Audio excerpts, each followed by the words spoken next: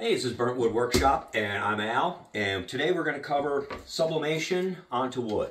And I've been gone for a while, and getting back to it. We're going to start trying to get a video up a week. And what we did here was a couple different ways of sublimating on wood with the laser. We're using the Xtool S1. And in my future videos, I'm also going to be using the M1 Ultra, which I have. So that's some other stuff we're going to be doing in the future. But what we started out with is I started sublimating on the wood with polycrylic. It was one of the techniques I learned. And what we would do is we would paint the wood, polycrylic it, then we'd do the sublimation onto it. And then after that, I'd have to polycrylic it again. So this is one of my early examples of done with the polycrylic. And this is a dice tower design that I came up with tray. Something we can do in the future. You're in the comments, say if you're interested in that. So first one we did, we tried to do it with the polycrylic and basically it was an epic fail. I don't know why all the other ones worked, but this was an epic fail. And then we tried it again and it was an epic fail. So what we did was we redid it and we did it a different way. And that's what we're going to go over is the way we did it on here.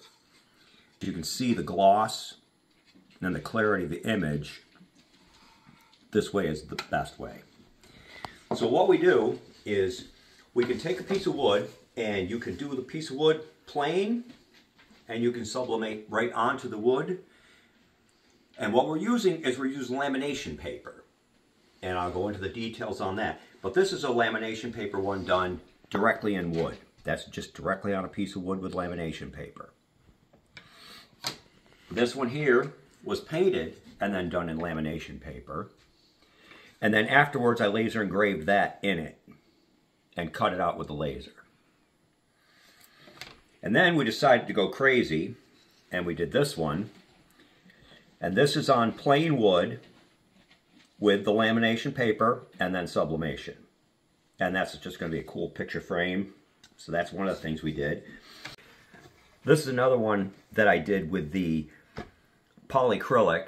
I painted it, I coated it with polycrylic, I put the sublimation on it, and then I polycryliced it again to get this gloss. But by doing it with the lamination paper, as you can see, you don't you don't have to do anything afterwards. So that's what we're going to go over in this video and I hope it helps you.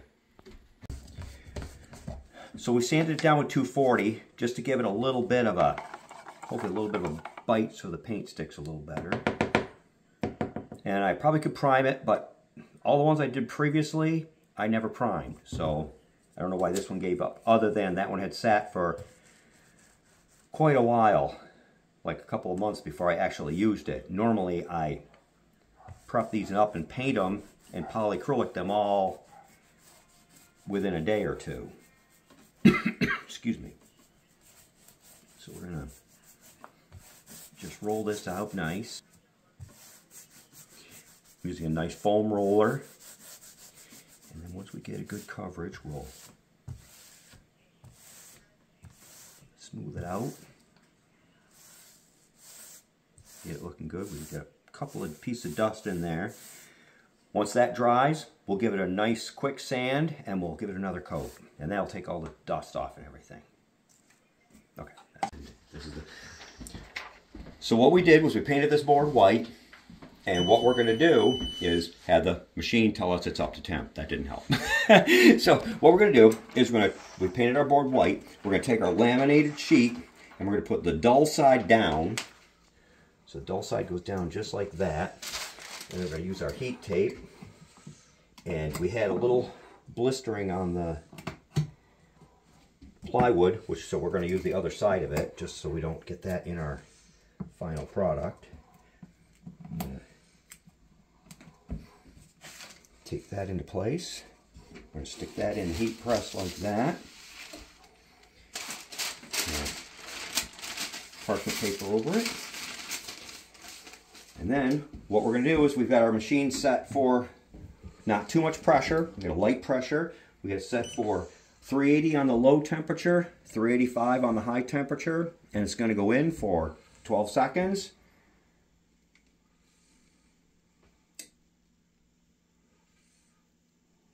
And there we go. And there's our first step right there is our laminated sheet stuck down to our plywood. I'm just going to peel that tape off. And then from here, we're going to go to the laser and we're going to cut our pieces out and then we'll put our sublimation onto that. I got a little ahead of myself, but what we did was we ran these all, cut them all out with the X-Tool S1. For our sublimation, we're running our A-Sub sublimation paper and we're running an Epson ET2800 and that has to get filled with sublimation ink. So you basically fill it when you get it with sublimation ink. And this is our the print doesn't look like it's going to look when it's finished. It'll look better once you print it out but that's our image. So we're going to go up and run that off. When you're building this you want to make sure that you have the the top with the top or the bottom which that's the bottom we actually want the flat and the notches on the top Make sure you do that before you stick your stuff on, otherwise you're going to end up with an upside down image, which I have also done in the past. doesn't look quite as good when it's upside down. we made these actually a little bit large, and I probably should have made them a little, maybe make them a little bit smaller next time, but I think they'll look fine. The only thing you don't want to do is you don't want to go too small, because then you end up with white edges around, and that stands out bad. So you definitely want to have it a little bit bigger is better. All right, and then we just got to tape all these up and run them through. Okay, so once our laminate sheet is laminated onto the board, then we have to put our sublimation paper on. And the sublimation paper settings are different, so we have to make sure we change our machine. And the sublimation paper settings are 390 for the low temp, 400 for the high temp, and 60 seconds. So you got to change those so that everything sets up properly. Okay, and this is what we're going to end up with. Let's stick that back in the way. And then you might want to use a pot holder because these are going to be 400 degrees hot. This is the reveal on that is what you end up with.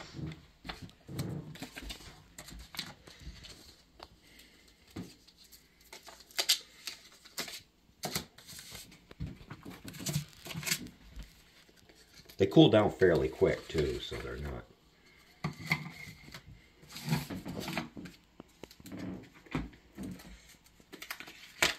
And that's our one right there. So that's our our pieces, which come out really nice. Right. So this image was generated in Design Finds AI Make. And what I want to do is I want to make this a picture frame that this is cut out of after I sublimate it. So in order to do that, I'm going to take this image and I want this cut out. I'm going to take and I'm going to put a rectangle right in here, right to the edge like that, right? Ah, it moved on me. So let's unlock that, slide that over. And then we want to edit this so all of our spikes are cut out. So in order to do that, we're going to go into edit. We're going to zoom in and we're going to take, we're going to add a point right there. We're going to add another one and pull that out like that. And pull that out like that. And we're just going to follow this whole thing so that all the horns are separate or traced basically not separate but traced so we're going to trace every one of these horns and we're going to pull them out a couple extra points so that we get the whole thing.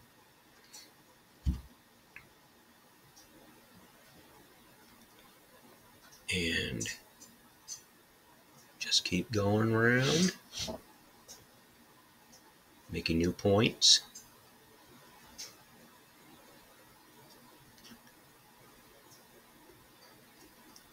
And scroll down here.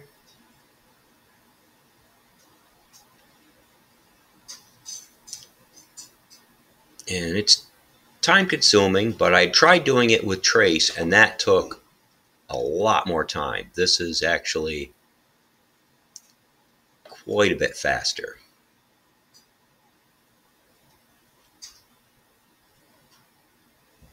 All right, so that's that side. I'm going to zoom out. We're going to go over this side, and we're just going to do the same thing. Basically follow the contours.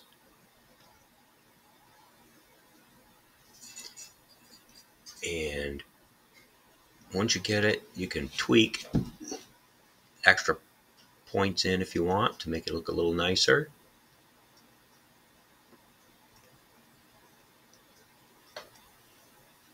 And we're almost done.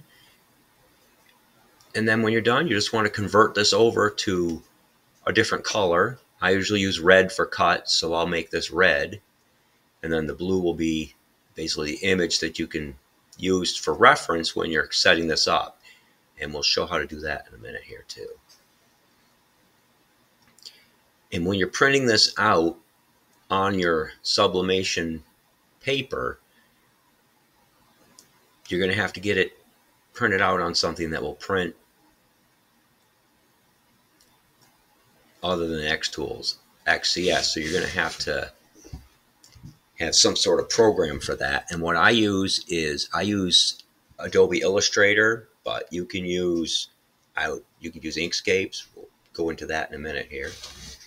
So that's our whole trace out. Now that's traced out our image for a nice cut. So we're going to take that and we're going to move that to red. And then we're going to take and we're going to put a rectangle around the whole thing in red. And that'll cut the whole image out. And we'll make sure that everything falls in, which looks good. So that is our whole setup right there, ready to cut. And then when we get our sublimation done, we'll take our piece, put it in the laser, and we'll line it up. And then we'll cut it out. And that is that part of it. Okay, so this is our picture frame sublimated. Let's see what she looks like. And that is our sublimated picture frame. So I hope this video was helpful. On our picture frame here, the one thing you have to remember is that you have to reverse this image. So you have to flip it horizontally because this skull is actually on this side when you sublimate it. On everything you sublimate, it's going to be backwards. So everything's got to be reversed. It's one of the things I forget every once in a while and a waste of material. So just remember to do that. And then what I'm using for the laminating are these laminating pouches. The laminating pouches are, it's basically a pouch and you have to find it, split it, and then just pull it apart. So basically you take these, you find the seam, find where they split, which isn't always easy, but you get it just like that. You just want to tear that off, and there's your two pieces. I will put a link to these in the comments for where we get these, and we also use the A-Sub sublimation paper, and I'll put a link to that for where we get that too. And I hope this video helped you, and my next video is coming out. If you have suggestions, something you'd like to see, I'll do what I can. Thanks.